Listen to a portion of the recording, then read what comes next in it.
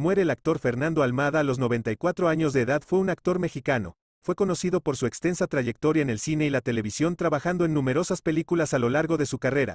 Trabajó en proyectos como Milagros de San Martín de Porres, El hechizo del pantano, Nido de águilas, Los dos cuatreros, entre otros.